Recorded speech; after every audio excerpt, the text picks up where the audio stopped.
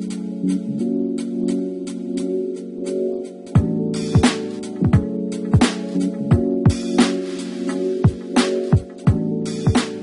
of the ways I promote community and interaction in my classroom is by utilizing Laulima's forums um, in an innovative way. So almost every week, um, students will have at least one forum post that they both initiate a message and then respond to other students with.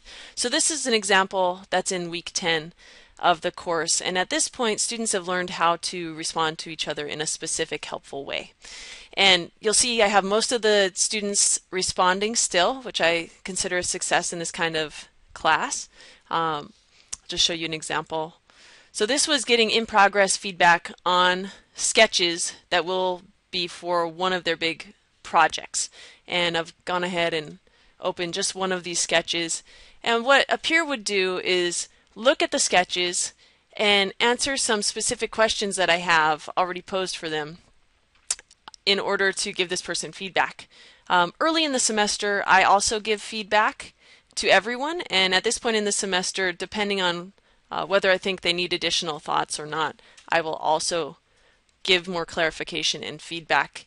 Um, and I also do a general feedback video, which gives kind of an overview of what I noticed um, for the class. But students are always invited to email me um, using the mail tool or just typing my, my email address that's available to them um, in Laulima or on the syllabus. Um, and they're also invited to use my virtual office through Blackboard Collaborate. Um, these tools are all introduced in week one of the weekly modules. And so I kind of teach students how to navigate through the course during week one. I also introduce some outside resources for students, and students are always invited in their feedback to add additional thoughts and include resources they think will help each other. But here's an example of a, a TV show that I was featured in, um, so they got an idea of who I was. Some other um, stuff from Adobe is down here at the very bottom.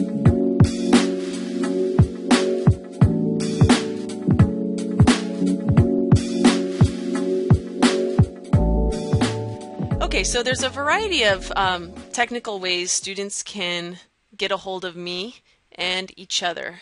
Um, and this is week one of my weekly modules where I introduce these ways. So one really great synchronous way students can connect with me online is through using my virtual office hours, and this uses Blackboard Collaborate to connect synchronously with students. Multiple students can come at once and wait in queue for me or talk together in a room.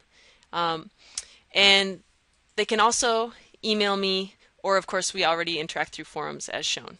Um, here in Laulima, you'll see there's a link to my virtual office, and this is what students would download, and it would open up in Blackboard Collaborate. Now, back in the weekly modules, I'm going to go ahead and advance to our current week. And you'll see there's multiple ways I give students information. And since this is a digital art class, a lot of my information is through videos. Um, I do a weekly feedback video uh, responding to the work that was just turned in.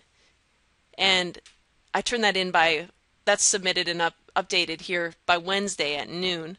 And that's in my syllabus, which I'll show you in a second.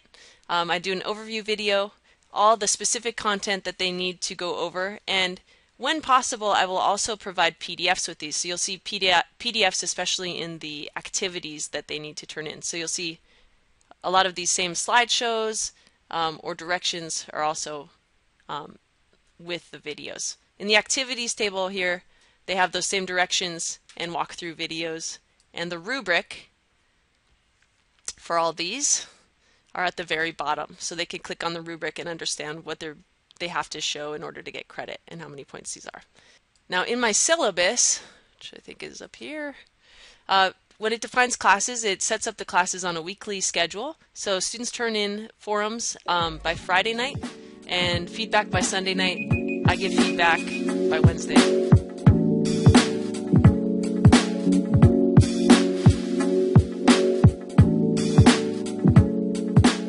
Okay, my course has kind of a hierarchy of scaffolded assessments that students work through in order to learn digital art, um, the concepts behind artistic design, and also creating something in a new um, application that they haven't worked in before. So we have small creative and technical exercises and forums. Um, we have assignments, which compound the skills that they have learned. We have big creative projects, which I'll delve into more in a minute, but these are where students can really apply their own interests toward a big creative project and demonstrate everything they've learned so far. We have quizzes and also technical demonstrations of learning. So this can range from an essay to a multiple choice quiz where they can continually submit and improve their grade um, to a, an exercise um, that's actually done in uh, Adobe Illustrator, which runs with this class. And then uh, we finally present our work the kind of at the end of class and reflect on our learning. Now, within the projects themselves, students advance through um, kind of a process that they get feedback on each time. So here's the student sketches for our package design, which is a CD cover. And he has three different ideas for his CD cover that he got feedback on. Uh, he turns in, when he finally completes the work, his final version uh, after getting in progress feedback. He also um, grades himself, so he doesn't necessarily get this grade, but he self assesses and he writes a design brief which basically explains his evolution through the project and his understanding of what he was asked to do. And so these are all submitted with his final project. Um, I also uh, continually try to improve the course through mid-semester evaluations and for this specific online class, always invite students to email me um, with ideas they have for improving the course that I put into action. Students mostly collaborate in how they give feedback to each other.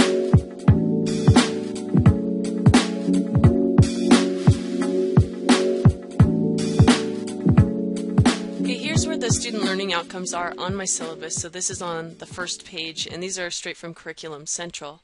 Additionally, I have in my project descriptions, if you scroll to the bottom, it talks about grading criteria and the learning objectives being met. Uh, this is also on the grade sheet for projects as you saw in a previous segment. Back to the syllabus, I also, down near the bottom, talk about uh, what students can expect in terms of turnaround time for communications with me. And so I'm just saying here that it takes me 24 hours uh, max to get back via email considering normal working days. And I say that I may take longer on weekends, um, but usually I actually don't. Grades are actually back to students by the time I put my feedback video up on Wednesday um, at noon. And I actually get it back quicker a lot of times. So that's kind of the latest I reserve for that. Projects are the only thing that differ, and those might take me up to a week. Um, students also create actual artifacts that are used in my class later. So these are examples that I give students, and they were made by other students. Um, and these artifacts later also go on into our spring showcase each year.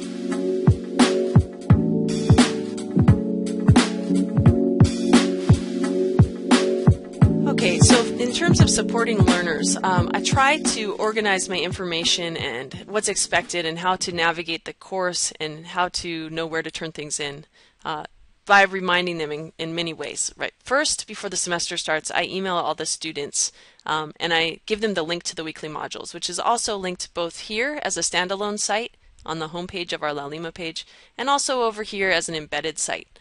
Um, I also have the schedule available at the bottom of the syllabus, and I try to stick to this. So this says what is due each week and when, what they should get started on, uh, what readings and research they should do, which is linked at the bottom of the weekly modules, what topics we're covering. And this continues for each week, so I try to stick by that. In the weekly modules, you'll see at the bottom in the activities table, there are due dates and times, um, where students turn these in, along with how to do all, all the instructions for the actual activities. And then any rubrics they need to see. Um, additionally, due dates are available in the schedule. And this is showing a monthly view, so they can see this. Things will alert them when due dates are coming up.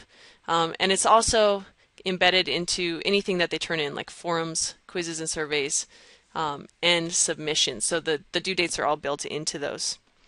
Um, I also have started giving students announcements um, on a weekly basis. So here's my week 10 reminders, week 11 reminders, just in case they aren't getting these. And there's a nice option in announcements which allows me to automatically email students. Um, so I send this out near the beginning of the, the week, Monday or Tuesday, to just remind them what's coming up, some general feedback that I also included in my feedback video, and um, what's due at the end of the week.